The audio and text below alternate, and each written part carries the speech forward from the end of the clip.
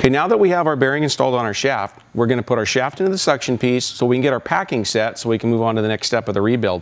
Before we do that though, we'll need to install the suction piece seal into the suction piece. So we said before, you gotta make sure that the spring goes towards the impeller. That way any excess pressure building up in the bearing will be pushing out of it and not try to blow the, um, the bearing cap seal out. So we drop it in on the Berkeley tool. We take our hammer, pop it in place until it seats. Pretty simple there. Now we'll take our shaft, drop our shaft down through the center of the seal.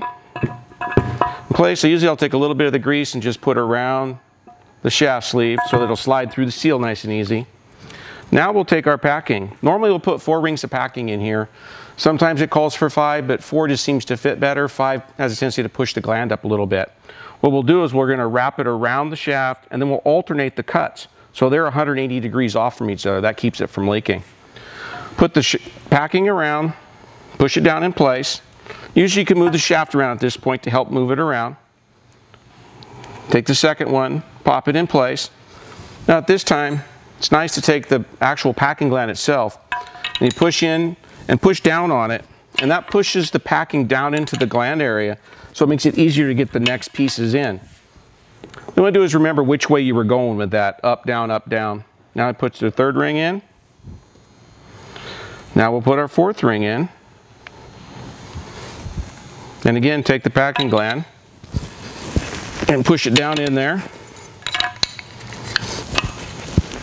until it seats down in. Notice that the gland actually has a top and a bottom where the pieces fit together. That way it's nice and smooth, bottom ends up nice so it goes up against the packing material. Now we'll take and push our gland in place. Push it down so it's centered. Now take your bolt, put your bolt up through, put the nut down on it, Then normally we'll take and I'll cinch this down until it puts just some pressure onto the packing. Final adjustment really has to be done in the water. What you're looking for is about a drip per minute at idle coming back through the packing gland. And you see just a little wet spot running down the pump. For now, that's it.